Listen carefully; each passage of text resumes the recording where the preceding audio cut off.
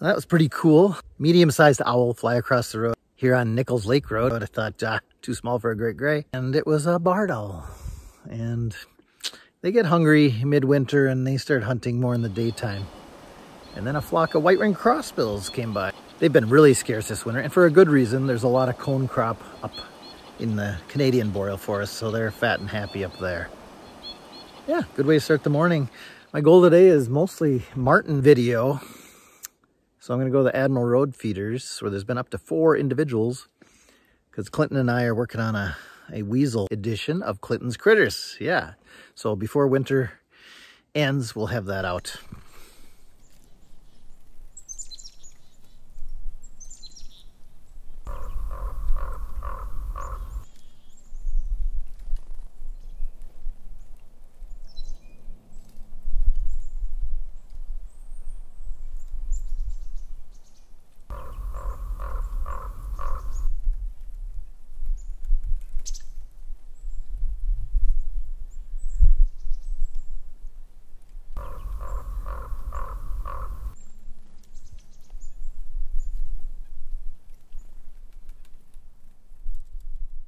And on my way up to the Admiral Road feeders, I ran across this rig. Wow, pretty cool. People could stand up and be covered and shoot right out of the van. It was a photo expedition company out of Colorado. They were having a blast. Then I spotted the pine marten coming in. Yep, there he is. And yeah, then we all got serious and the conversation quieted down and we started shooting.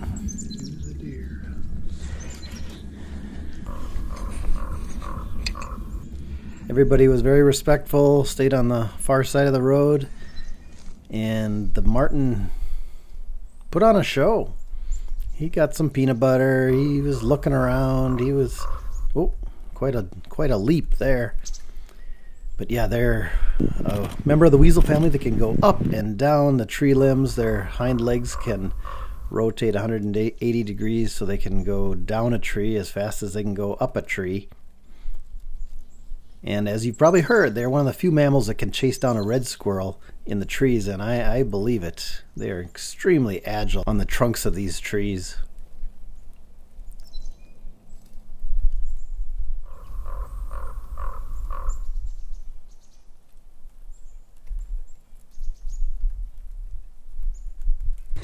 Well, the marten showed and yeah, got some of the video I needed for the upcoming Clinton's Critters Weasels episode. It was fun chatting with people from all over. Bob from Ohio, Eric, who I've known online a long time.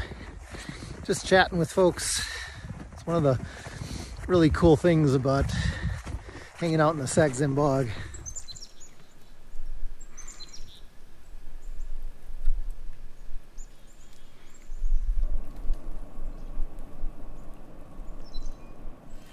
Just stumbled upon a great gray at 12.42 p.m.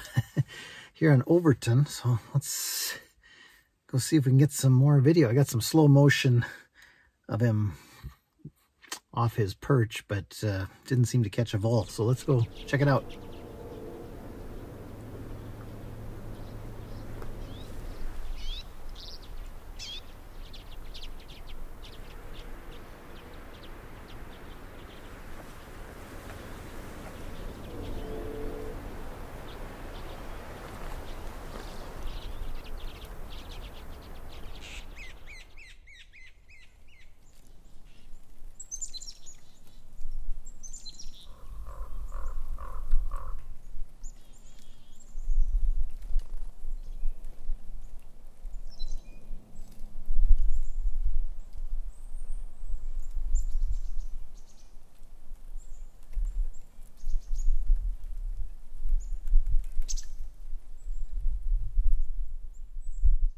Well, that great gray didn't linger. Uh, I hadn't seen a car for like a half hour and then three appeared out of nowhere and it uh, didn't like the crowd. So I was staying a long ways back and I, I think they wanted a closer photo, but this, this gray gray, he wanted his solitude today. All he has to do is fly like 100 feet back and he'll never see anyone. Well, now it's a three owl day. This is the rare hybrid snowy great horned owl. Yeah, I bet you've never seen that.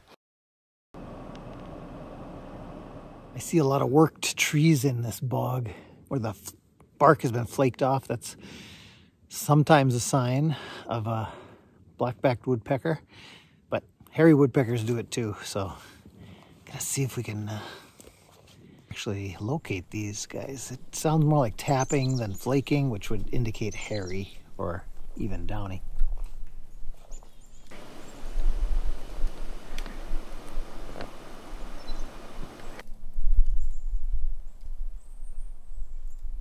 Yeah, all hairies and downies. Just sort of black-backed.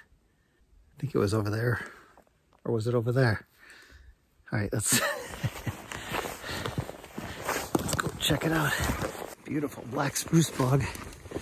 And you know what? It's a little secret. We're gonna own it here in about a month. and I am excited. Downy. wolf tracks and that way. Okay, this time I hear flaking instead of pecking. Uh, nope, another hairy. So much for that theory. Flaking hairy. And what these hairies and blackbacks are doing is flaking the bark off to get at the eastern larch beetle grubs underneath the bark. And the eastern larch beetle is a native pest, quote unquote, I'm doing quote marks. So the tamaracks are adapted to it. There's outbreaks, Don't know if it's every four years. Now with uh, changing climate, there are some theories that they, the larch beetles are able to reproduce twice in a season, and so the problem's getting worse. Sad to see these tamaracks, the big old tamaracks die off, but the young ones are unaffected and they regrow really fast compared to black spruce. But we'll see what happens, what plays out here. It sure is good for the woodpeckers. no blackback yet. Sure sign of recent workings. Bark on top of the snow. Okay. Eh, the ditch isn't frozen yet. Good thing I was wearing rain pants. Woo, that was refreshing. Certainly heard of blackbacks, but after an hour of bushwhacking, nada. A lot of hairies, a lot of hairies. And then falling through the uh, ice into the ditch. My left foot is soaked. camera got wet, but it'll be fine. Sometimes you just gotta go for it. Did get turned around in there too, but that's common. Just pointed my compass to south and knew I would hit the road.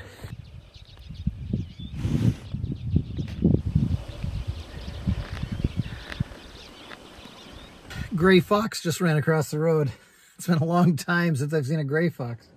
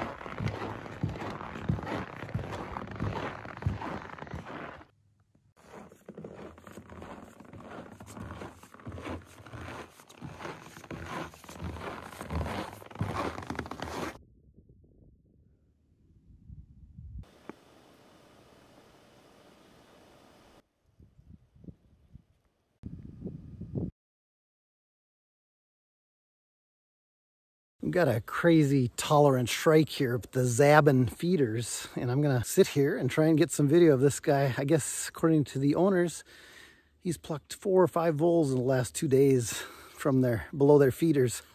so let's see if we can get some footage. This shrike, this shrike at the Zabin feeders, wow, hyper spastic, totally tolerant and flying all over. He'll rarely sit on a perch for more than a few seconds.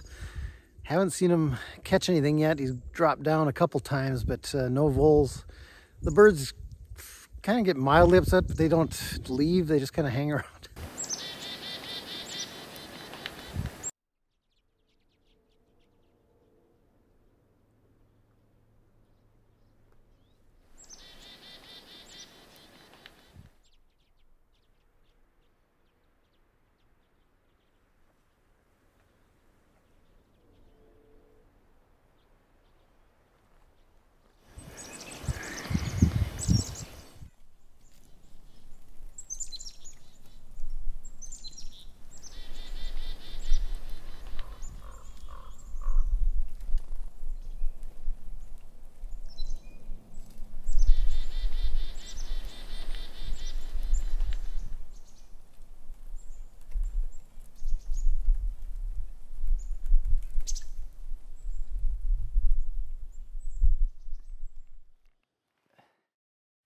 Well, that was mega quick. uh, tried for the second time today for that hawk owl over by the Burns greenhouse. And there were cars there, which means the bird was there. And it was. Looking the other way and the spruces. It was there about two seconds and flew. And that's okay. Uh, evidently it's it's finding plenty of voles out there in that far field where you need a scope to see it. But it makes enough trips close to the road so people are you know, happy here at Bob Russell Bog Walk. Some visitors reported a black-backed woodpecker here a few days ago. So I thought, huh, I'll try it, although I'm here a little late. Woodpeckers go to bed a little early. No use looking at the suet feeders for black-backed woodpecker. They are not known to eat suet. I have never ever seen one at a suet feeder. They are specialized on beetle larvae below the bark of trees surrounded by three different hairy woodpeckers. They are more tap, tap, tap, tap, tap, and often higher up, but no blackbacks.